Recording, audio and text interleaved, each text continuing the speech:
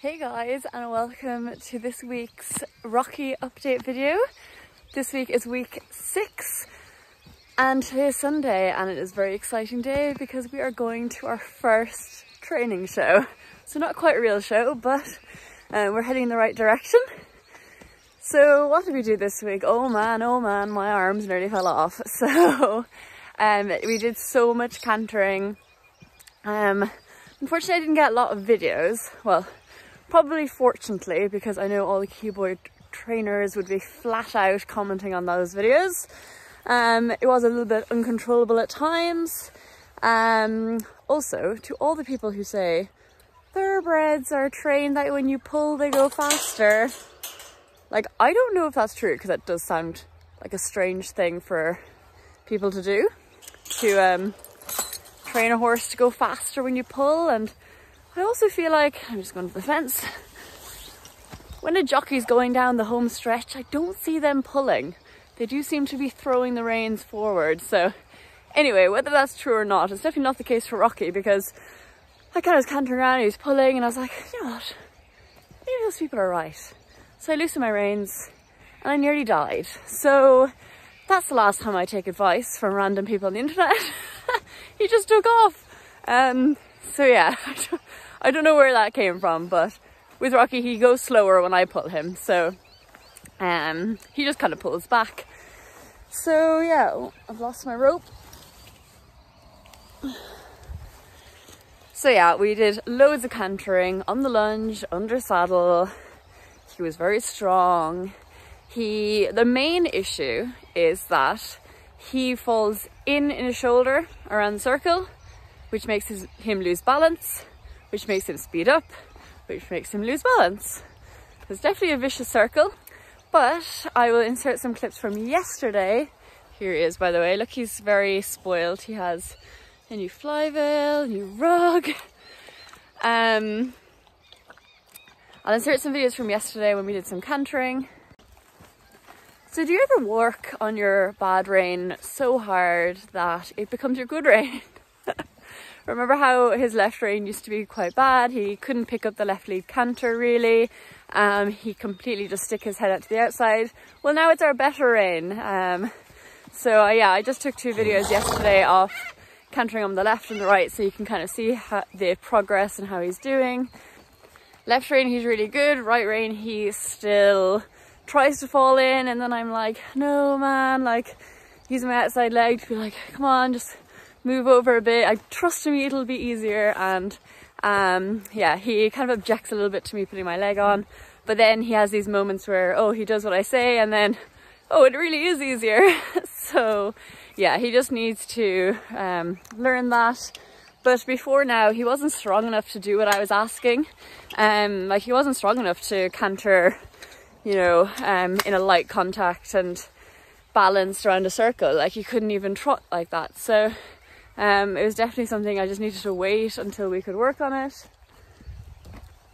Um, which we have, and I think this is the perfect timing. He, like it took him a week and he almost has it. So very pleased. Then I gave him a jump yesterday um, just over some cross poles. He jumped everything first time, even did a little bit of cantering to jumps.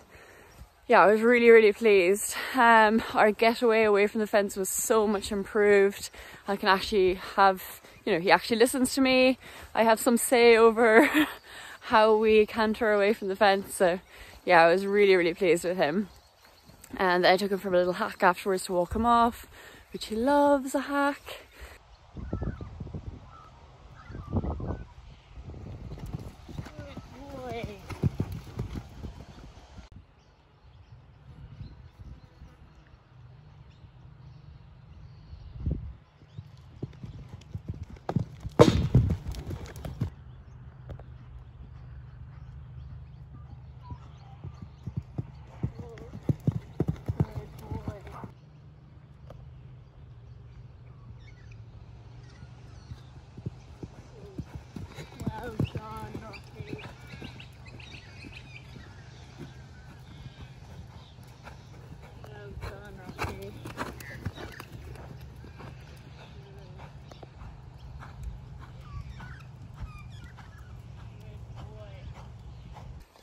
So then moving on to today, we are jumping the 60 and the 70 centimeter class, which means we're up bright and early. Um, I washed them yesterday, I cleaned all our tack. So yeah, we're looking our best. um, and I'm really excited. We're going to a place called Shepperton. So here's a little bit of a drive away. Andrew is also, he's driving us and he's bringing Diva, his horse, to jump the meter and the meter five. So it'll be fun, or maybe the meter 10, sorry. Um, so yeah, it'll be fun. I'm excited, excited to see how he goes. New place. I think the jumping's on grass as well.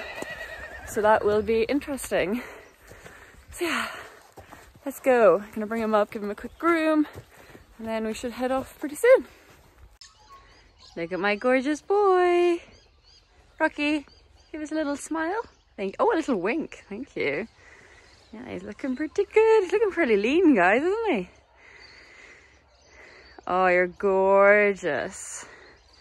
You are gorgeous. Yes, you are. All right, I'm gonna pack the car and we'll head off. Horses are in the flow. One very big bum, one very cute bum, and they're giving each other kisses.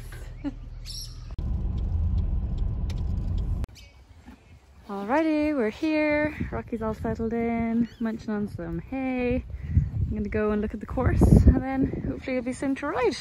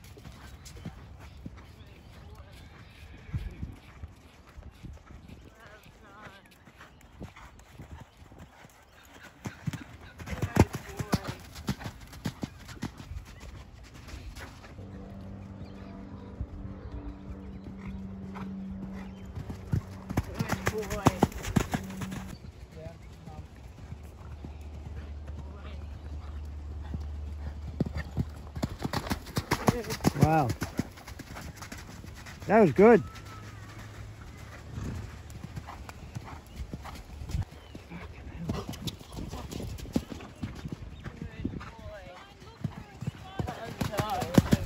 All right.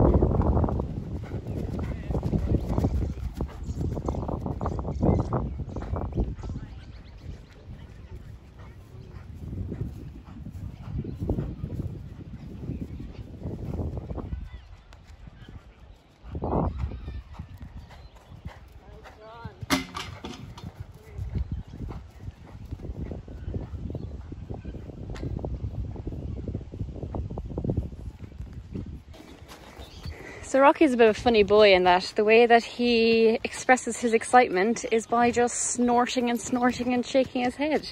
It's like he has all this energy and he has no other way to release it other than by doing these little crazy shakes of his head and little snorts. Although, of course, he's not doing them now because I'm filming.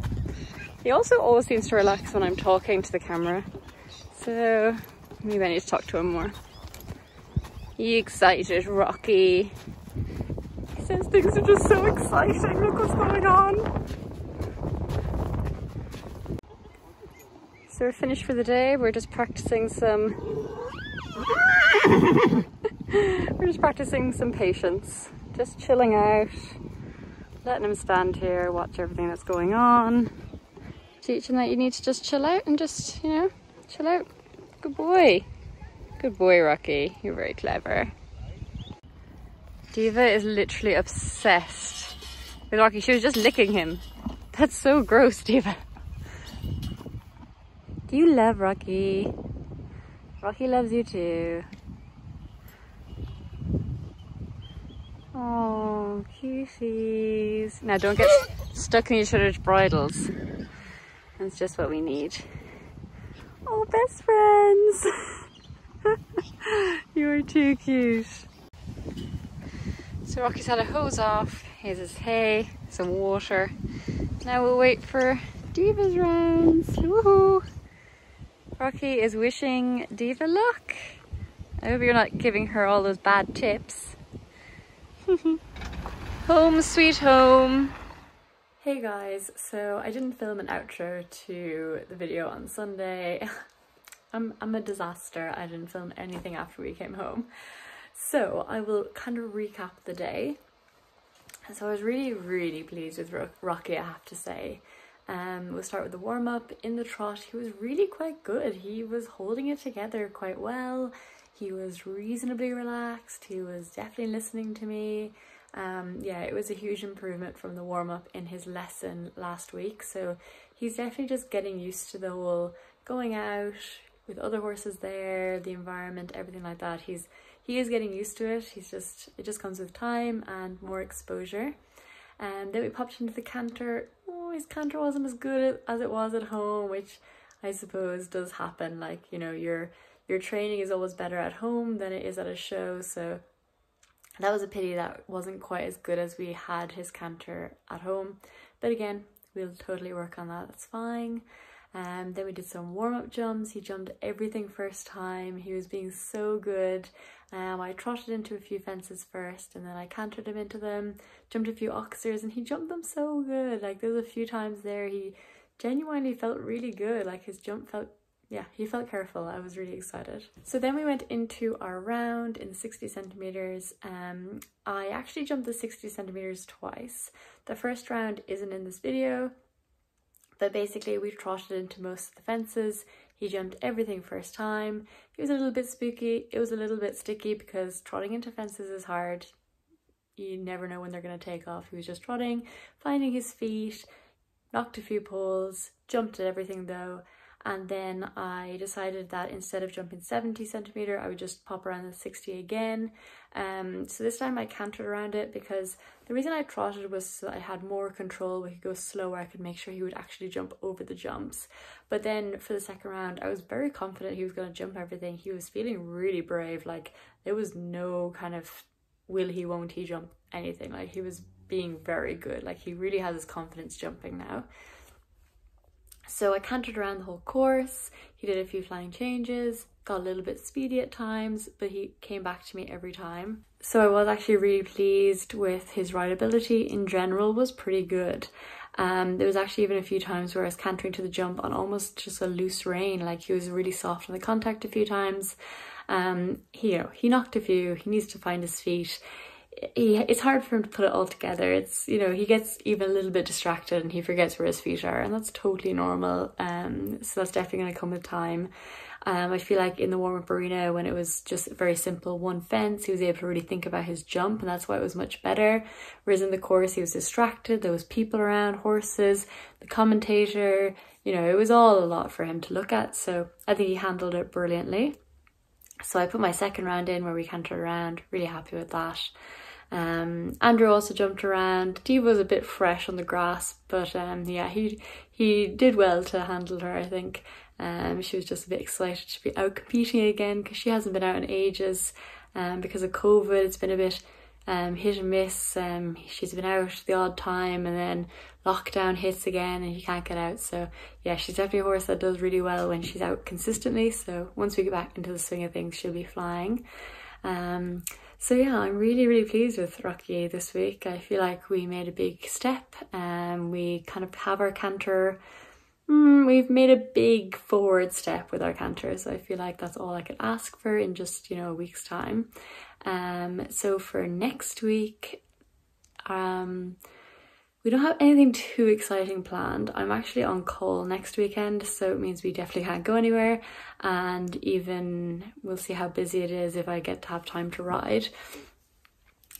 But the plan is just to keep working on that canter, just keep um, working on his strength, on his balance, just getting that relaxation. Um, I'm also going to start to really um, try and focus on working him long and low. I think it's time, I think he's almost strong enough that he should be able to start stretching down and being able to hold that. Um, I'll just take it slow and see how he goes. If he isn't feeling up for it, if he's not just quite strong enough across his back yet, that's fine. But um, I think it's time to start working on it. I feel like we have enough of a foundation. He understands I'm asking him enough that we can start to just think about asking him to stretch down long and low and I think that'll really help our canter also because as he gets stronger, working long and low, it'll be easier for him to hold that canter and hold that balance. So it's all going to work together um, to help. Um, probably give him a little jump at the weekend, nothing too crazy. I feel like he really has his confidence now, so now it's more about working on technique, which is fun. I can't wait. Um, maybe do a few pole work exercises, the very basic, basic, basic starts of a grid or something like that, just to start getting him to think about where he's putting his feet. And again, this kind of exercise will help build up that strength in his core, um, especially doing anything like bounces, not proper bounces, I'm not to ask him to do bounces, but even like a pole before and after the fence. Um, it just helps to teach him to kind of shorten up, um, round over his back a bit and all that is going to help strengthen him and then help our flat work. So it all kind of ties in together.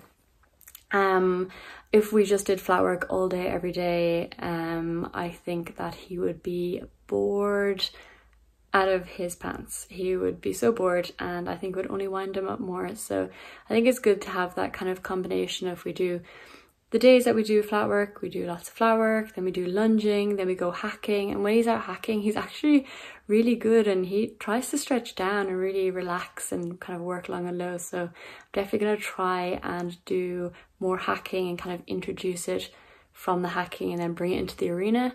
So um, yeah, I think that's good. And I think the jumping is really good for him too. Like he's gotten so much confidence with the jumping and now he's so much more confident on the flat work. Like he doesn't spook at anything anymore. When we do pole work exercises, he's like, cool, so easy. I'm so over this.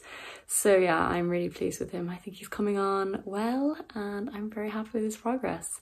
So I will catch you guys next week. Um, hopefully the plan is to work on his flat work during the week and then give him a jump at the end of the week. So I'll try and get a video of that and then that'll be our update. Um, and then we actually have our first show the following weekend. So we need to start working on our dressage. we have to do a dressage test. Uh, it'll be fine. We'll totally survive. and even if it's not the best dressage test in the world, it's all experience for him. Um, it's all good experience. So yeah, that is it for this video. I hope you enjoyed and I will see you next time. Bye guys.